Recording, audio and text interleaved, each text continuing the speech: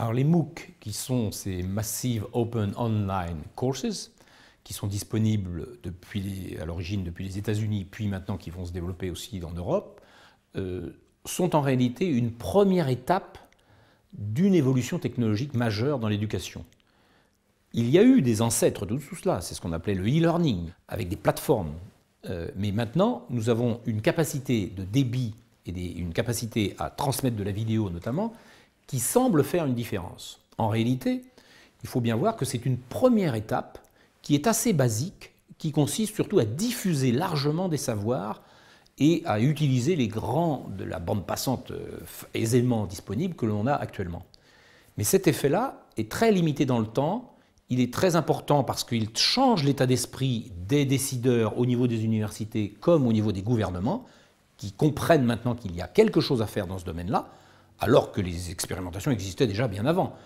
Donc il faut bien ne pas oublier que c'est un événement, que c'est une forme de buzz, c'est une forme de pression médiatique et d'enjeu de réputation qui fait que tout le monde court derrière les MOOC, j'allais dire. Cela dit, ça a donc un effet artificiel, mais cela a aussi un effet d'entraînement pour nous obliger à produire des contenus qui vont être mieux structurés, qui vont être mieux adaptés à des publics beaucoup plus vastes et qui vont euh, précisément mobiliser des médias beaucoup plus riches, avec de la vidéo, certes, mais aussi avec des formes d'interactivité bien au-delà de la vidéo. L'enjeu actuel, c'est bien de euh, passer à la seconde génération de MOOC, qui ne seront peut-être plus massives d'ailleurs, qui seront peut-être sur des publics plus restreints, pour une entreprise, pour des, personnes d'une certaine compétence.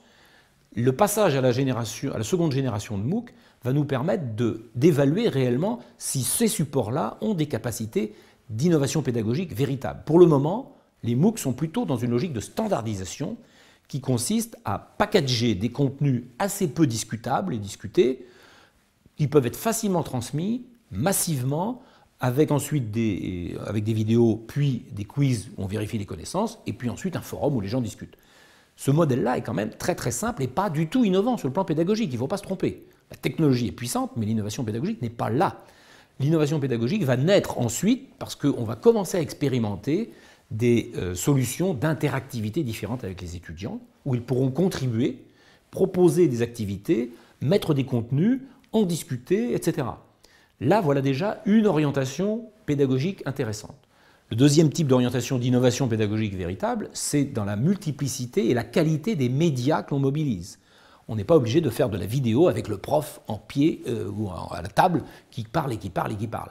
On sait que précisément les cours magistraux sont pénibles à écouter à cause de, ce monomédia et de cette omniprésence d'un seul interlocuteur pendant deux heures souvent, etc. Et on sait que l'attention tombe très très vite. On le sait, au bout de, après 7-10 minutes, elle tombe. Ces choses-là ont été euh, très bien notées. On ne peut pas espérer qu'en les mettant sur de la vidéo, on gagne quelque chose du point de vue de l'attention. On va gagner quelque chose si on tronçonne précisément ces éléments de connaissance qu'on produise ce qu'on appelle des grains de connaissances, beaucoup plus clairement identifiés, beaucoup mieux construits médiatiquement, et qu'en plus on travaille la scénarisation de tous ces grains. Et à partir de ce moment-là, on sera obligé de dire mais pourquoi je mets tel grain avant tel autre, et comment je le combine, et comment l'étudiant, le, spectateur, comme on veut, l'internaute, pourra le réutiliser, faire son propre parcours, comment on peut varier les types d'activités cognitives, etc. Dans ce cadre-là, on peut espérer une mobilisation de l'attention de meilleure qualité. S'il n'y a pas ça, et si on continue à faire défiler des contenus euh, sans autre euh, variation euh, que le fait qu'ils soient passés en vidéo à, la place du présentiel, ça ne changera strictement rien. Donc c'est bien ça l'enjeu des MOOC actuellement, c'est un moment d'effervescence médiatique qui génère une impulsion pour créer des contenus d'un type nouveau, L'important étant que cela rejaillisse sur la façon de concevoir ces contenus, de la façon de concevoir les relations avec les étudiants, de concevoir toute la pédagogie elle-même. Et bien entendu, à ce moment-là, si on fait cela, on ne la conçoit pas seulement en ligne, mais on la conçoit aussi en présentiel.